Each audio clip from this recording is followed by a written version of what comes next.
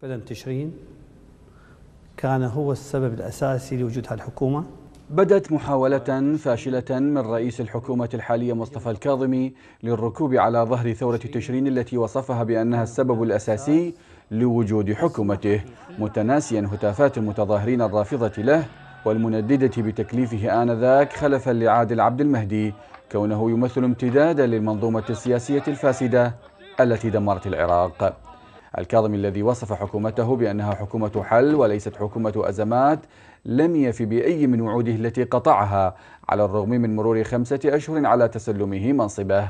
فقد تصاعد نشاط الميليشيات وزادت وتيرة الاغتيالات للناشطين والهجمات على البعثات الدبلوماسية مع استمرار تفشي الفساد في مؤسسات الدولة ووصول خزينة البلاد إلى حافة الإفلاس. الكاظمي حاول العزف على وتر الأزمة المالية الخانقة التي وصفها بأنها الأكبر في تاريخ العراق لتبرير لقاءاته وتعهداته لأمريكا مؤكدا أن واشنطن وبقية البعثات العربية والأوروبية أبدت قلقها من تكرار الهجمات ولفت إلى أن تبعات انسحاب هذه البعثات فيما لو حصل ستكون كارثية على العراق الذي لا يستطيع مواجهة العزلة الدولية لا سيما وأن واردات النفط تتعلق بالولايات المتحدة وما زالت أغلب ودائعه لديها. واتهم الكاظمي شركائه في العملية السياسية بأنهم انقلبوا على أمريكا التي أوصلتهم لحكم العراق وأنهم اليوم ينتقدونها في العلن بينما يخنعون لها في الغرف المظلمة. اللي يزاودون على العلاقات مع أمريكا أذكرهم.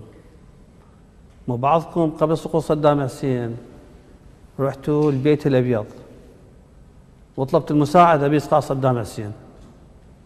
ليش انقلبتوا؟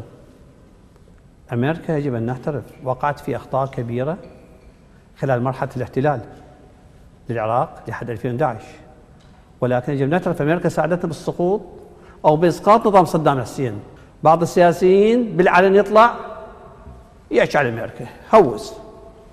وبالغرفة المظلمة ينطي